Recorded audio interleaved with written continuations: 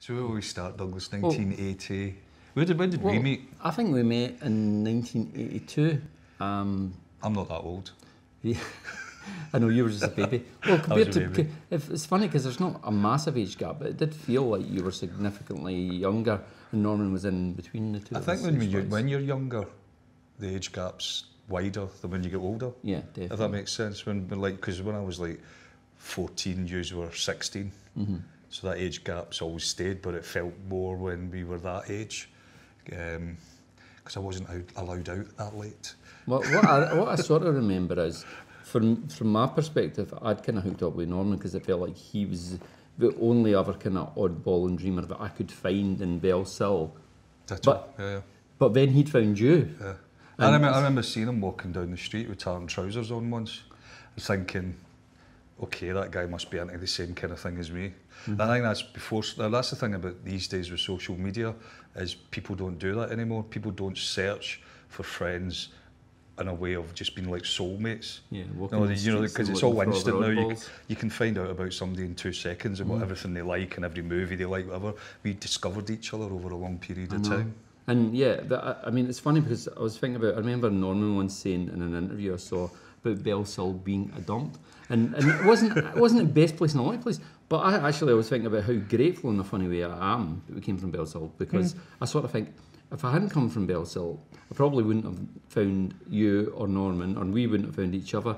And I, I sort of think I'm not I'm not sure that we wouldn't have ended up doing things as individuals, but I definitely think it was a very important thing that the three of us gained some mm. sort of strength through meeting each other. And we gave each other confidence. Mm-hmm. And to be honest, when I was thinking about this coming here today, we had we kind of amused ourselves a lot of the time, to be mm. honest, because we used to have this thing where it was like if we we weren't really caring what everybody else thought as long as we got enjoyment out of it. And then when things started happening with radio and plays and interest in Glasgow, whatever, it was kind of like we were like this running this in joke that we got. Mm-hmm. That kind of, and then it kind of expanded into other things. Yeah. But at first, it was just us having. I know, and then we kind of met, but it kind of got expanded by meeting other people, like I guess, like Frances McKee and uh, Jim McCulloch and Joe McAlinden, and, and then further into meeting people like Bobby Gillespie and Steve Pastel. But initially, it was like we'd be walking through Bellshill or we'd go into Glasgow, and we'd sort of want to entertain, but we'd also want to irritate other people. We'd, we'd want people to look at us and go, "Who are those weirdos?" I think there was a certain amount of shock value on it as well. Mm. I mean, you remember all the bands that we used to invent that lasted about two weeks to play that. Remember, you, there's, I still can't believe we did this. And sometimes I actually think, was this a dream? Uh -huh. But uh-huh. did we have a band called Child Molesters? That Very- played my gig. school? Yeah. And the whole idea we put it together was to get banned from my school, and we didn't get banned. We had to do the gig. and you sang a Throbbing Gristle song on Yeah, stage. yeah, called um, Uh, uh, I've got a little biscuit tin to keep my panties. Yeah. that's the line out, it, isn't it? Uh huh. And it was just like we would we can't possibly Yeah. allow this, but they kept allowing us to do this stuff, so we just had to go further and further and further. I think I was only in fourth year, and I had to go back to school the next day after being in a band called. You would never be able to do that these days. Never. But uh, and, and I also remember one time we played at the Hattonrigg, and all the kind of anarchist punks kind of pick had a picket line outside and tried to persuade people not to go and to see the Pretty Flowers because they were like too sort of deviant and too too weird. And it was a bit like oh the punks. The punks think we're, we're kind of like kicking against the system a bit too hard, and we should be banned. They were like Mary Whitehouse for us. I suppose when you think about it, the way it's spread out from Bellshill is a bit like what people do these days with social networks, but ours was like a kind of an organic social network that slowly built over years, mm-hmm. like a kind of chain reaction. Like you met one person, then you met the other person through the other person, and this whole family got bigger and bigger. And then obviously Splash One came along that put us all under the same roof, and that's where it all became. But I remember it as being you were the big guy, although you were the youngest one. Uh, I think I don't know if it was like that fearless quality of just being a little bit younger, or maybe just more hunger for it in some ways. But you were the one that actually almost made the, the point of contact where it was like, I don't want to just be a, a big fish in the little pool of Bellshill anymore. I want to go further. And I, I think you approached people like Bobby Gillespie and Well, that, Stephen that, Pastel. well, that came from working in Flip. Because you remember, I, I, I I remember buying a baseball jacket out of Flip, and because I went into the shop one day wearing that base, do you remember that red baseball Mm-hmm. jacket? I worked into the shop and, they, and I just left school, and the guy said to me, "Do you want a job?" And I went, "Yeah," and I worked there. And then Bobby came in one day, and I was playing a cassette of the Soup Dragons rehearsing, and he went, "What's this?" And I went, "Oh, it's my band." And I knew Bobby obviously from Jesus and Mary Chain, and that's when he said, "Do you want to support my band Primal Scream at Splash One?" And Splash One, I think that was third Splash One, wasn't it? Because we went to all of them, didn't we? Oh, and, um, and that's where the network started from there, you know, like, Mm. and then the next thing, BMX Bandits played Splash One, and then Soup Dragons played again, and then the BMX Bandits played again, And and I think Norman had almost at one point. It's funny when we both started having kind of that level of interest and success. None of the things we'd done before it had. It was almost like Norman had taken a wee break at first, and then I think Mm. he was like, "Wait a minute, both BMX Bandits and the Soup Dragons have got records coming out.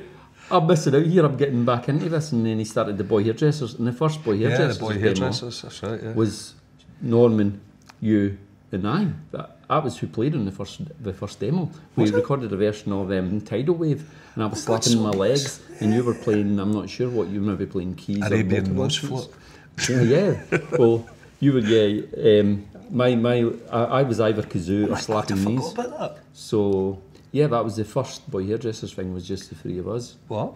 and then that became a group, and then that uh, boy hairdresser gets morphed into Teenage Fanclub. The boy hairdressers didn't last very long, did they? No, but they had a lot more material Yeah. than.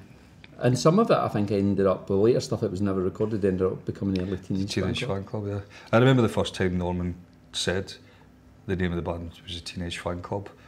I just thought it genius. It is a great name. It's a great name. But I mean, it was a, st- did not stand off with Teenage Fandango or something. There was all these kind of like different kind of Well, one- variations. At of one it. time, I think Or they Teenage were. Fanny. One time, they were going to go for Teenage Fanny. That's and, it, Teenage um, Fanny. But I think they just thought maybe that'll be a bit too controversial. that a t-shirt? I'm a Teenage Fanny. Yeah, was, Or there a badge or something. was, Was yeah, it was some, badge? there was some Yeah, school yeah. teacher who was a big fan of Teenage Fanclub. I remember him going to his work wearing um, a badge that said "I'm a Teenage Fanny" Yeah. and um, getting hauled over the coals for it. So you think about it, well, even all that kind of um, doing all that stuff kind of goes right back to the child molesters. Yeah, that kind of idea of just like being so outrageous that you, you'll never get away with it, and then actually, oh sh- shit, we did get away with it, and we had to do it.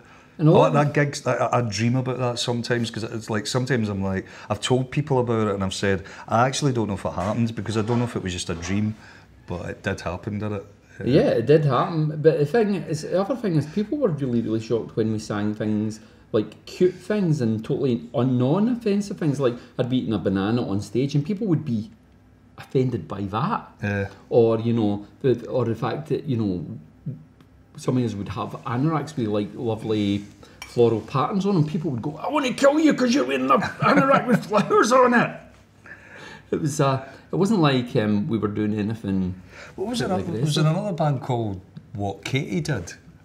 That was some band, but I don't know who that, who that was. That was definitely on stage for that. There was even a point where I kind of was being on the cassettes but not on stage. That was a Oh. period, wasn't it? Where it was like I was too shy to go on stage, so I would record everything on a cassette, and you all got on stage and then play the cassette as the and we could dance about and, Yeah. and, and be silly. Because the first time I actually sang down a mic live, loud, was at Splash One supporting Primal Scream. Like those five songs. Because in rehearsals with the Soup Dragons, I'd never really sang out down the mic. Well, Norman was the same. It's funny because I, I was a, a sort of natural show off, and although I'm quite shy in some ways, I was naturally because when we went busking, I would be the main singer and things, and I was probably the least gifted of the three of us technically as a as a singer or as a vocalist, but. Um, I think it was just I, I'd um, always been a little bit of a show off as a kid and things, so I had that kind of very natural chops. Well, I got, what I got from, or one of the many things I got from you and Norman, apart from just the reassurance and the strength, was the fact that you guys had a lot of kind of musical chops and kind of were quite. Even then, compared to a lot of bands around us, I think we we the three of us were all musically quite ambitious. We Yeah. kind of with bigger pictures in our mind. We may have started off in some that's quite primitive, but I think we always had this idea of mm. taking it to another point. I think I've always been a bit of a producer, and I've only realised that re- till recently. That all the way through my life, I wasn't really hundred percent just a band member. I was a producer as well. Yeah. I've always thought of music as a whole. Yeah, you I always remember- about sound. Yeah, I always remember like even like always remember Strawberry Sunday with you is that you could actually sing a song finished. So you'd say to me, "Can you work out what these chords are?" You know, and because you wrote that song, but I had to work out what all the chords were that went with it. But you actually sang it pitch perfect to where you'd actually be able to work out chords. And that's a gift as well, being able to do that. Because I wouldn't be able to do that. I wouldn't be able to write a melody of a song Yeah, Like that, I have to write a song with dream, music. A sort of dream of the band playing in my head, I guess. But yeah, it's funny because yeah, Norman had great songwriting and musical chops, and you definitely always had this kind of vision of sound, and I guess that kind of Soup Dragons records compared to what a lot of it, it, it went from being a kind of primitive thing to Mm-hmm. being something that was a much more grand or bigger kind of type of pop music. That's because we were always kind of been able to like experiment more as time went on. I suppose in the early days of going into what was the name of the studio that used to be just down there? Was it, Cen- was it Centre- City Sounds? Centre City Sounds Do you remember like the rehearsal room used to have the drum the drum kit, the drum riser was on a tire, Mm-hmm. a big tire, and it moved about when the drummer played drums. And it was like we recorded our first single there for thirty three pounds. I remember it, I remember it being thirty three pounds because the flexi disc cost something like sixty six. So the whole thing came to under hundred pounds. I've just thought about another thing that's a bizarre memory is the first two things that you released, I think, were the Soup Dragons Flexi disc and then the BMX Bandits debut single. Yeah. And one of them got a review from one music paper saying, This is possibly the best single of all time. And the other one, about two weeks later, got, This is possibly the worst record ever. And I was just wondering, can you remember how any kind of reaction you had to those two reviews and what they made you think? I was kind of shocked because yours was a flexi disc. And I was told it's actually the only flexi disc that got single of the week in NME ever. I would imagine. And um, and it's funny because I've been talking to Neil Taylor about it recently because it was Neil Taylor that, that wrote it, and we were reminiscing over the, if you remember the first Soup Dragons thing in NME, which was like we were like went from nothing to having five pages. It was like huge. It was like over like well, it was three, was it four pages? Yeah, because it was It like was a, a big, double big double spread with loads of pictures. And you went from nothing to that, and I remember going down to London with Norman, Mm-hmm. and, and we had to get the overnight bus because it was the cheapest possible way to do it, and we got chicken pox. I you remember that. And we went down and, we, and I interviewed Neil Taylor. Neil Taylor told me a few months ago that we actually, actually we gave him chicken pox Wow. because he didn't know. I said, did, you ever get chicken pox? He goes, yeah, when you left, I got chicken pox. I went, oh, that was us that gave you it. And then when we got back in the bus going back, me and Norman were like, that was throwing up and things in the bus going back, and mm-hmm. that was us. We had chicken. I think we gave everybody it. Did you know? We all Well, came I, back did, and I didn't get it, but Norman was like me. He's like, oh, I've had it before, I can't get it. Yeah, I had it before as well, and I got it again. But you both Yeah, got it, got but again. I, I, somehow I, I, I was strong enough. So I always Yeah, to get it. associate that that big Soup Dragons piece with chicken pox. And it's funny now talking because Neil Taylor's doing a book and we were talking about it and he went, I've never known all these years that it was used to. It gave me the chicken pox. It's so bizarre that because the Soup Dragons definitely for a while, and I mean then of course you get the opposite because they were so contrary these papers. You you were like the most loved band by I think th- that the NME Yeah, three that music papers, yeah, yeah. At that point, But then when you actually have a hit record off your own back, not following what they want you to follow, that's when it all yeah, they turned goes against you drastically uh, wrong, you know, because it's, it's all about um, control. Mm-hmm. And and luckily that doesn't happen these days now. Mm-hmm. You know, there's no control over um, over scenes. You know, we almost had the opposite. Everybody hated us until we made serious drugs. Well, all the critics Yeah. hated us. Then we made serious drugs, and then suddenly there was all these writers who were fans of us, and you're going, "No, you all hated us." I sort of quite liked it when he hated us. I liked when the enemy were the enemy. Uh, You know, it all kind of came round in a, the big circle for us because when the Soup Dragons split up, and there was years, and then I did the High Fidelity. The first single I put out with the High Fidelity was on that Japanese label, Vinyl Japan, mm-hmm. as a small seven inch, and they made it single a week again. It all started again. it was just this whole big circle again. do you remember the kind of because you you guys had had your sort of like big impact in the end. And that never really, it wasn't a moment of big impact really ever for BMX Bandits. But then Norman had it, I guess, with started Teenage Fanclub. And I guess when that happened, in, I remember, you, I think you took them either in tour or you Yeah, certainly, the certainly fan club came in tour was. supported the Soup Dragons. for like it was like when I'm Free came out and it all became mad and big. Um, it was uh, it was like a three week tour or something. Yeah, it was like Barrowlands and not yeah, it was a Barrowlands and Brixton Academy and all these places. Do you have memories of what that? Because I guess it's that thing of you and Norman starting that journey together, and then suddenly, uh, well, he's in this band who are beginning to catch fire, and you guys have like become a kind of a chart act, you know. There was a lot of drink involved. I remember that because everybody was just like constantly like having a good time, and um,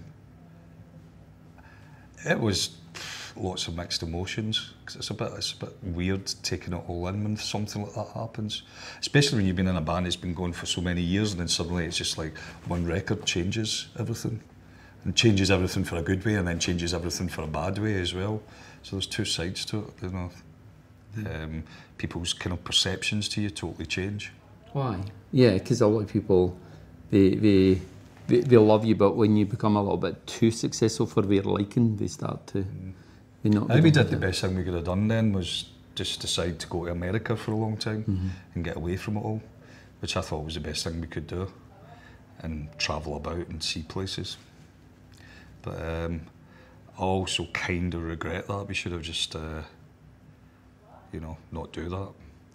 But um, that was the same with like Norman. Norman had a lot of success with the fan club in America as well around that time. Mm-hmm. You guys as well when the whole Nirvana thing broke. Yeah, I know. I mean, ours was always in a slightly lower, slow burning level, but uh, So where did you, like your first um, experience of hearing of Nirvana and Kurt Cobain come into the whole thing?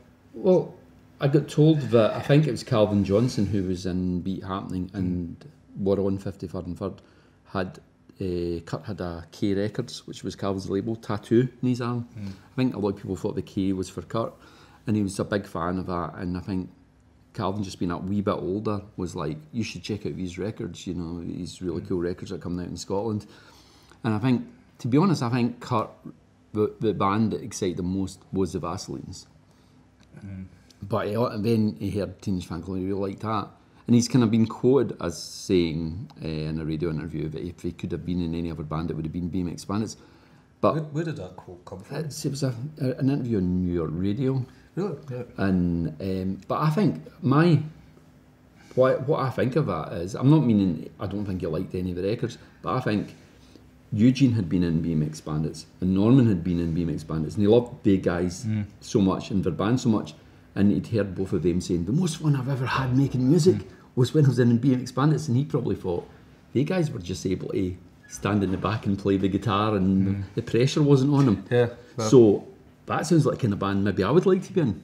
that's what I like doing. That. Well, it is. It's a different. It's a, it's a, but it's a different thing, and I, I can imagine at that time he was just so much under the lens. It was like yeah. if I could have been in BMX bands, I could have just been having fun and be hanging out with guys who are into similar things. It's, mm. But um, yeah, I mean, I guess yeah, Teenage Fanclubs uh, were on the last European tour with him, and you know he covered all the songs of, of Eugene's. And as you'll remember, like, well, obviously we'd been in a band with Frances with, with, the Pretty Flowers, but maybe about twenty people were interested in the Vaselines in Glasgow total. And nobody was interested in them. We were sort we were like their fans. Mm, God, like yeah. Us the and Vaselines, Stephen yeah. and Jim Lambie were sort Used of to always go to their gigs. but Great it was like most people just did not get them at that mm. time. And then, you know, thankfully, yeah, time changed that. Yeah. yeah. And Frances, of course, was exactly the same in the sort of Pretty Flowers. We, it was the guys in the band who were the kind of sweet ones did. I'm not meaning Frances isn't sweet, but she would always, even then, she would have that really dirty mouth and kind of be, you know, saying really inappropriate things. uh, well, you know, like Eugene would maybe shy away from doing that quite a lot, and she'd be the one that would say something completely outrageous and still does. Always loved the fact that the first Vaselines 12 inch has a Divine cover Oh, on the B side because that's something there's something really twisted about this band. It's associated with these being a kind of noisy, punky guitar band. Actually, done this high energy track that, in a very high energy way Mm-hmm. on the B side. I know that's funny because apart from the music, there was these kind of things like films and art references that we all got. And some of us would be more passionate fans about certain things than other things. But like, yeah, the John Waters thing, the Divine thing. Yeah. I always remember all of us being. I remember you being a particularly big fan. I'm a bit obsessive. Um, and Eugene's brother Charlie Kelly, who was in the drummer in the, the Vaselines as well, was like that, and, and Stephen I think was a big fan of it as well. And so we, When I, when I wrote Divine Thing, um, we tried to get John Waters to do the video, and then he decided he was going to do the single after that called Pleasure, and it was all going, it was all happening, and I spoke to people on the phone and all this, and then Serial Mum came out and became really big, as you know, really Yeah. quick, and he had to say, no, I can't do it, I'm too busy, timing after all those years. But uh, a killer. I always absolutely adore, I, I adore John Waters' sense of aesthetic to everything. In the sense of mischief again, I think, as you Yes, were saying yeah. earlier, is the sense of mischief. I think we still sort of got a sort of sense of mischief about the things oh, we do. Yeah, push, you push the aesthetic, you push the envelope. You know, thinking outside the box is the fun thing, confusing people, and mm. um, I think we've always went out our way to try and confuse, mm-hmm. even right down to the artwork of some things. I mean, that first BMX Bandits cover, which is kind of funny now, because tonight we're playing the gig at the CCA, and that poster. looks like an absolute genius piece of art. But actually, it was like, I mean, not putting it, putting it down on anything, but it was thrown together in the kitchen, and we were rolling about because it was so bad. We were laughing at it, going like, "Stick your face in a star," And it it was- looks so bad. You know, it's like, was basically we'd bought the Sigue Sigue Sputnik single. oh God, yes, right. And it was like yes, we didn't, six- we maybe you didn't I- love it. You so we cut out the star from the Sigue Sigue Sputnik single, forgot coloured it in, coloured it in red, and you and I went up to the photo booth in the post office in Bellshill, took a photograph and stuck my face in it, I went, "That'll be a good cover." I remember, like, do you remember that first Soup Dragon single? It never came out hmm. because it was cut so badly. I remember Ross, you know, Ross used to do the hmm. artwork, being the artist, and he, because in those days you had to do it with letraset and, mm-hmm. and you had to like layer it up so all the perspex layers would be printed properly. But somehow when it got sent to Bristol, it all moved about in the post. So you got the first cover back and everything was all over the place. To this day, people think that's the way we made that cover. Why? And that was the reason, I remember getting it going like, oh, what's happened to our cover? People, people looking and going, "This is brilliant! I love the way it's all skew And then, off." and then Whole Wide World came out and I spelt surprised wrong in the back on letraset. It says pleasantly surprised. But like it's like those are all kind of like you know rock and roll myths now. Yeah, yeah, yeah. That was meant to be surprised, Yeah, or that's a Or it's meant as, or it's like that BMX. I mean that BMX Bandits cover when I saw it blown up when you were hmm. standing next to the poster. I was just like so proud of that. I was just like, wow, it looks like an amazing piece of you know like rock and roll history or something. I know, and it's like it was you and I thinking Eating how. cheese and toast and cutting things out other people's record I know, and covers. giggling, going, "Oh, when people see this, will think it's the worst record cover of really all time." It's really funny because the back covers my handwriting. Because I remember I used to have this kind of when I was like, younger. I had this. I don't write like that at all now, but my handwriting is so weird on that. But like, I wrote everybody's names and what they mm-hmm. did, Just- and it was wrote in a pen on perspex to put on top. Yeah, no, I, And thinking of the name, the BMX Bandits, like sat in your kitchen. Yet again, a lot was done in your kitchen. well, it was basically your kitchen and Norman's grand's house. That was our life. yeah. Like Norman's grand's bedroom and your kit, well, our second bedroom and our, your kitchen. Uh-huh. We never went back to mine because my mum was a bit of a weirdo, but we kind of kind of spent time between you two. And then remember them, that person got killed in Bellshill, and we got pulled into it because they see they kept seeing us moving about between. There was like Bellshill Main Street was between our two areas, Uh-huh. so we always floated about late at night between Bellshill Main Street, and then sadly that person got their head cut off like by the train station, Mm-hmm. and we all got interrogated because they were all thinking, "Wow, you know, These move- guys seem a bit these dodgy guys seem a bit dodgy that they move about all the time." yeah. I mean, the other thing that I, I, I, I remember when we thought of the name is, I remember us for some reason phoning up Eugene. And the two of us being giggling on the phone, going, We've got a name for our new band. We're going to call it BMX Bandits, what do you think? And Eugene's like, That is maybe the worst name I have ever heard in my But it's life. genius. And we were like, I don't think he even said it's genius. I think he just went, That's the worst name I've ever heard. And we're like, Okay, we're keeping it. Then he ended up being in the band years later. It's funny thing about it. I remember it was because you knew the. I never even knew it was a movie at first.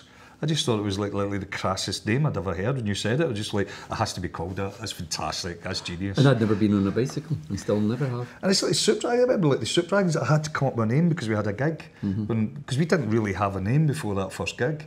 and it was really it was the pressure was on because the Shield was doing the artwork or something. It was like you have to have a name, and it was like Jesus, I could not think of a name, and I remember the names that were before that, which I like not to say, but. Um, I remember coming up with the suit, and, I, and people to this day think I'm some mad clangers obsessive or something, and it's not. It was just a name that came up with. Yeah, and I do love the clangers. But Yeah, I do love the clangers, but no, but it's that kind of thing though, Yeah. where Uh, People buy more into yeah, it. and I mean, and, and especially when you went to America, because it like, you know, nobody had a clue where that Yeah. name came from. So it had a totally different meaning. I remember once getting dragged to a Chinese restaurant by the record company to do an interview because they had dragon soup Wow. in this menu, and I had to do an interview in this Chinese takeaway.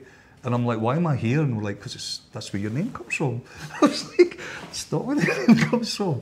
I used to like say to people, the name comes from a cartoon about um, animals that live in the moon and, you know, they make blue string soup and eat it and fly through space in a musical spaceship. And you just see this kind of blank expression on people's faces. yeah, right.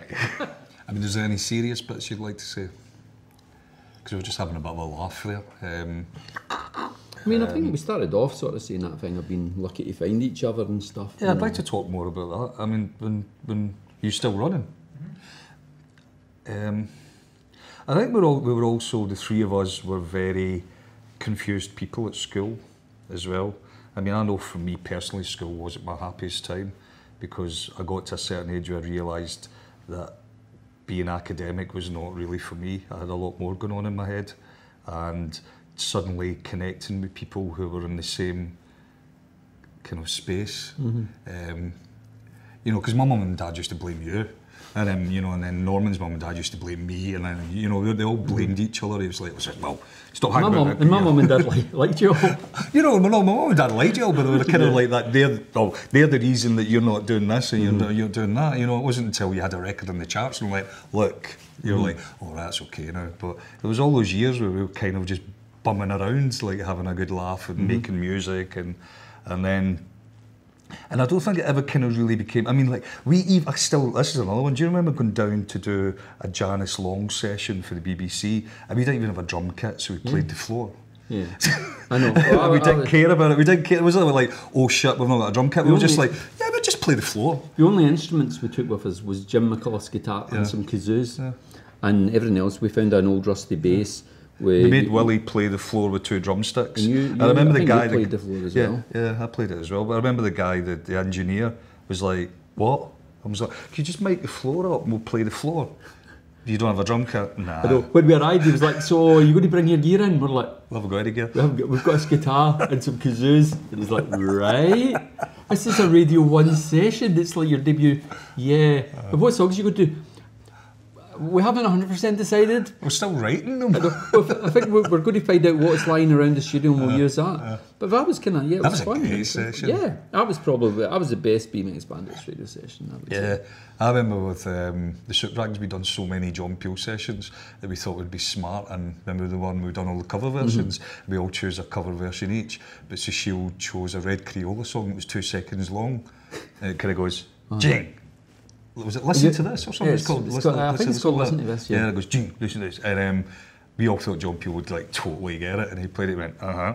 And he gave us another session after that. He, al- he said to me, the after, he told- said to me years and years later that he said, you know, yeah, I kind of see what you were doing, but you have to remember a lot of people would have liked that airtime. And you kind of took the piss a bit by making it two seconds long, where you could have gave those four minutes to some other band. We were like, okay, fair enough. But at the time, it was hilarious. There's just this reaction because he doesn't actually ever listen to them. Remember that he used to listen to them live on air, so he didn't know what was about to happen. Which is a nice way to do it actually, because then you get his genuine reaction. And that time, unfortunately, he was appalled. I mean, it was a ball. Well, it was, that was amazing thing when that all started, when John Peel picked up on us and um, Janice Long picked up on you. And it was like, it was like, you know, the BMX Bandits with Janice Long and the Soup Dragons with John Peel. And it was like, we were going down to London. Well, I was kind of like between the two bands all the time. And I, I mean, because Janice Long went over the top about E102. Oh You yeah, she, it was it great. she had a massive uh, argument with uh, Neil Tennant and Nick Hayward on it lasted about 20 minutes long about how great E102 was and they didn't believe her. on, on the radio. Yeah.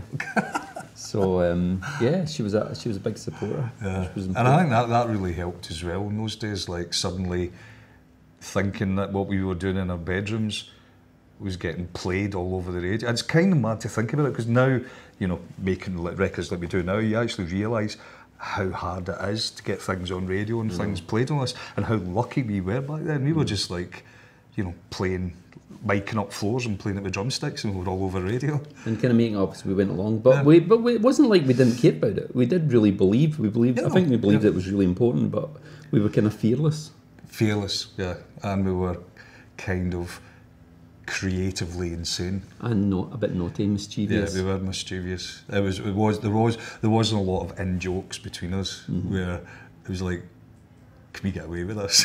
Well, let's yes, see. we can. Let's Let's, see. see if we can get away with this. But uh, good times. Lots of great memories. Lots of great memories.